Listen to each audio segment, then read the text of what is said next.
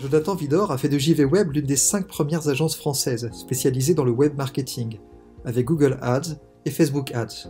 Avec une soixantaine de collaborateurs de dix nationalités différentes, une activité dans plus de 40 pays et des agences en France, en Suisse et en Chine, JV Web poursuit une belle croissance avec une longévité hors du commun. JV Web nous montre ici le point de départ de la stratégie Lean. La satisfaction client devient l'obsession de chacun, et tous les niveaux de management sont tournés au quotidien vers le développement des collaborateurs par la résolution de problèmes. J'ai euh, commencé l'idée de JWeb en 1998. Euh, j'étais en première au lycée. J'ai commencé par créer mes premiers sites web, euh, avoir de plus en plus de visiteurs, et puis ça s'est transformé en business.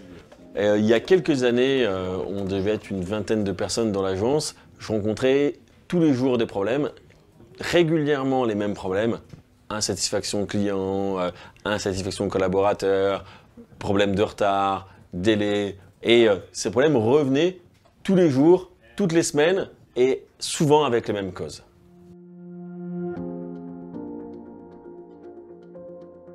Avant, dans nos bureaux, tout était propre, les murs transparents, on est dans la technologie, on est dans l'Internet. Au Japon, en fait, tout est rendu visible. Quand il y a des problèmes, quand il y a des chiffres, est-ce que les clients sont satisfaits?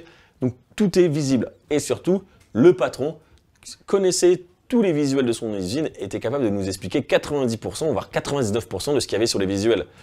Vous seriez venu il y a quelques années chez JWeb, j'aurais été incapable de vous dire la façon de produire plein de pièces. Maintenant, c'est le cas.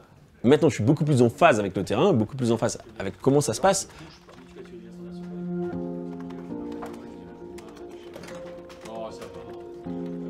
Avant, il y avait une personne qui s'occupait de 20 personnes.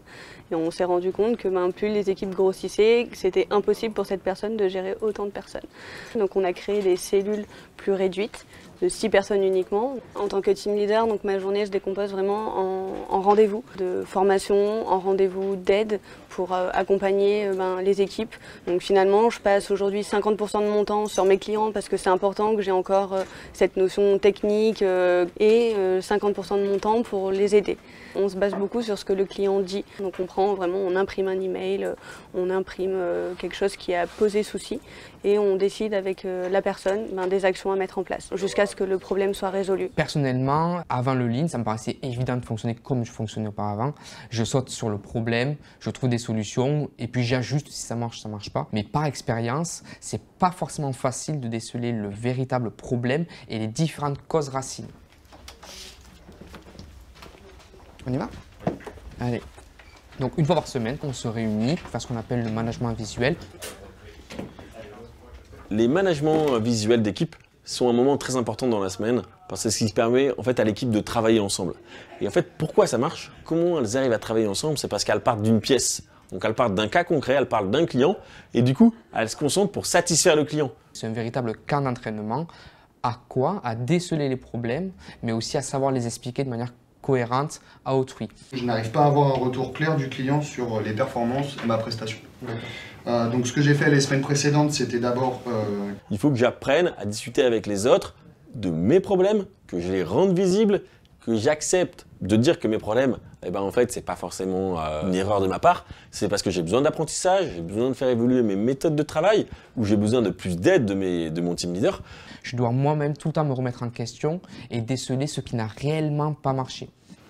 en fait, si on ne se contente pas de ce que le client dit, on creuse, on reformule jusqu'à ce qu'on ait vraiment compris le plus important, le message qui va tout changer, qui va faire qu'on l'a vraiment compris. Mmh, Donc c'est presque une quête de la, de la perfection, même si on est, il faut bien avoir conscience qu'on ne l'atteindra jamais. Donc euh, ce serait quoi la, le secret pour réussir à parler à un autre interlocuteur chez le client sans vexer son contact principal? Parler aux deux en même temps? Parler aux deux en même temps. Mmh.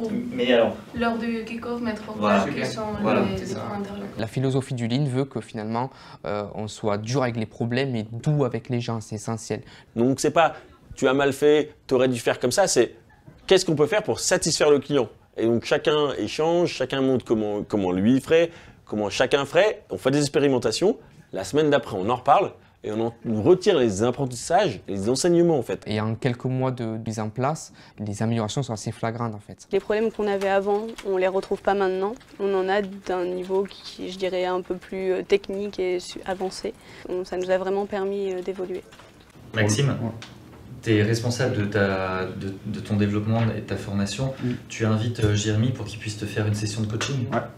Parmi mes fonctions, euh, je dois euh, chaque jour m'assurer que les team leaders sont formés pour qu'ils puissent permettre à leur équipe de collaborateurs, des chargés de compte, de réussir dans leur quotidien. Salut Colin je voulais te voir parce qu'on va bientôt, dans le cadre de l'intégration de ton nouveau collaborateur, euh, on va devoir euh, l'aider, lui apprendre à fixer ses premiers objectifs mensuels pour son client.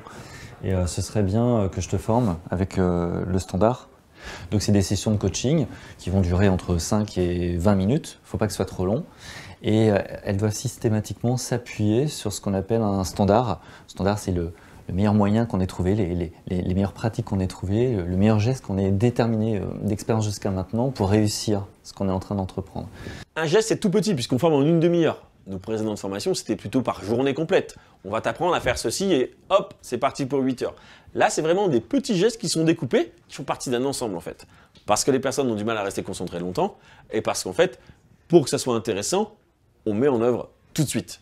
Mon team leader est à côté, je lui explique le contexte, le sens, mais très vite je lui montre le geste. Donc on va sur l'ordinateur, on va ouvrir le standard, on va ouvrir le, document qu'on est en train de mettre à jour, la pratique qu'on est en train de développer, et euh, je vais euh, bah, lui montrer en faisant le geste. Par exemple, tu vois, premier point, euh, il faut que tu lui expliques la, définition d'un objectif cible. C'est quoi le truc euh, que le collaborateur, que le chargé de compte doit absolument faire, l'objectif qu'il doit atteindre pour euh, satisfaire son client à la fin du mois?